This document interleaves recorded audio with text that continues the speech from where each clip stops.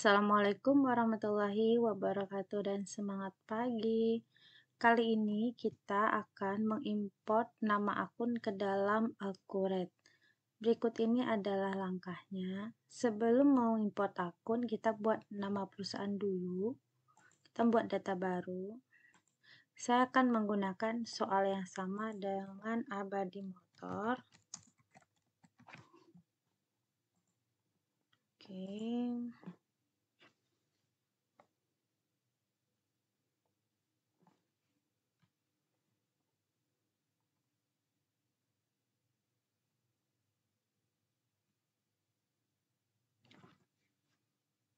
Untuk mengimport nama akun, kita harus mengetik terlebih dahulu di dalam Microsoft Excel. Seperti ini, saya sudah mengetik di Excel. Nah, ini yang akan kita import ke dalam Accurate. Oke, kita masuk.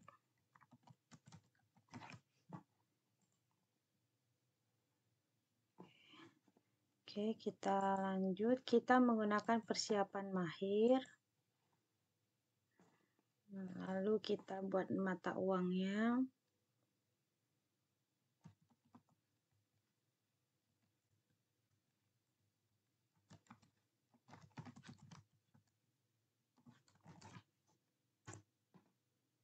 Oke, sekarang ke nama perusahaan. Soalnya kita akan input nama perusahaannya.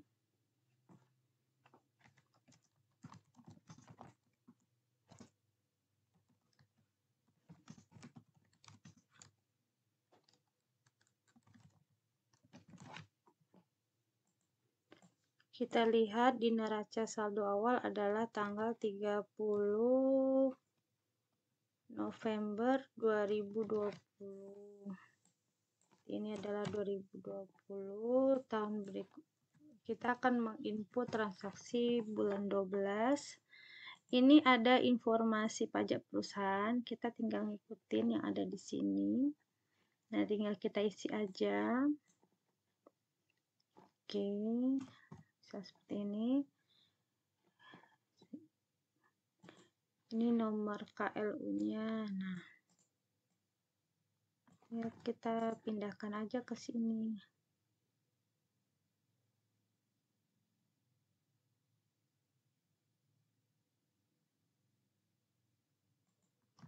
Hmm. sini jenisnya adalah perdagangan.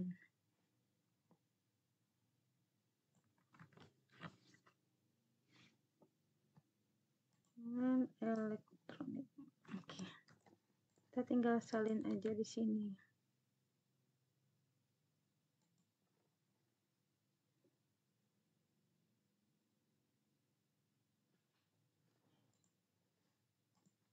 Kode KL USPT kodenya yang ini. Ini kodenya KLU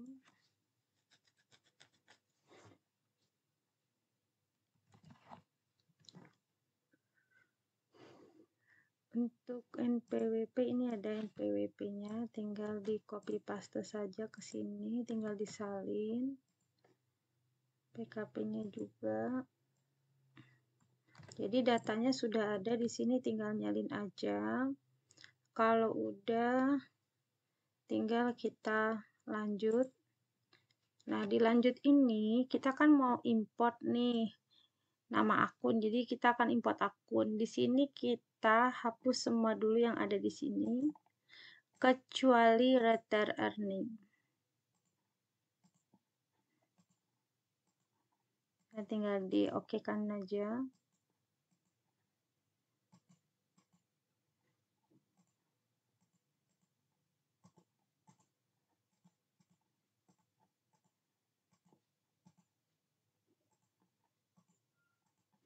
Oke, kalau udah kita klik di sini untuk import berkas. Lalu kita buka file kita yang gambar folder ini. Nah, kita pilih di Excel. Nah, di sini saya simpannya ini dia nama akun. Lalu klik ambil data. Nah, data kita sudah terpindahkan di sini. Nah, kita lihat. Lalu, ini kan ada nomor akun, nama akun. Ini kita hapus. Judul ini kita hapus. Ya, kita hapus. Nah, jadi tinggal nam, uh, nomor akun, nama akun, tipe akun, dan rupiahnya. Oke, sekarang kita ke kolom data sumber dari sini. Nomor akun mau kita pasangkan dengan apa nih? Nomor akun itu kita pasangkan dengan nomor akun. Lalu nama akun kita pasangkan dengan nama akun. Nah, seperti ini. Tipe akun kita pasangkan dengan tipe akun. Nah, di sini kita buat bank. Tipenya apa? Harusnya di sini pilihannya. Nih dia kas atau bank. Akun receivable berarti akun piutang.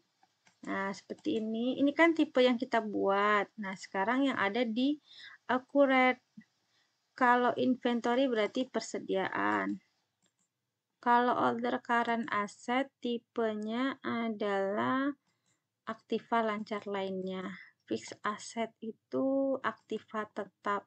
Nah, kita pilih yang kita buat tadi di Excel tadi nih dia, kita pilih. Akumulasi, kita pilih akumulasi. Account payable tipenya kita buat di sini pilihannya ada hutang dagang, akun hutang. Kita lihat dulu.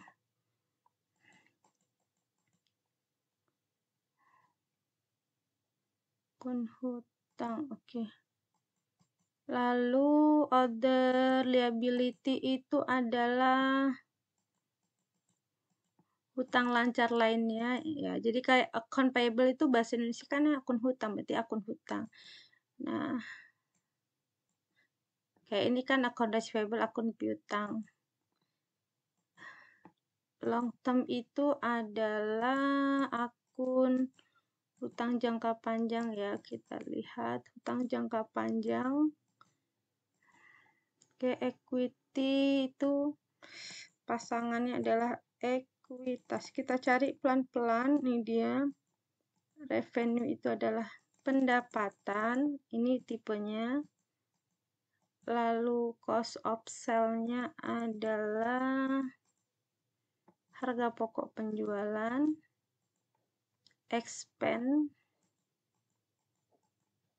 jadi kita pasangkan ya jadi dari data sumber ke definisi yang ada di accurate-nya kita pilih. Expand kita pilih beban. All the revenue adalah pendapatan lain-lain other expense itu adalah untuk beban lain-lain. Nah, kalau udah semua kita pilih tipe ini ya definisinya nah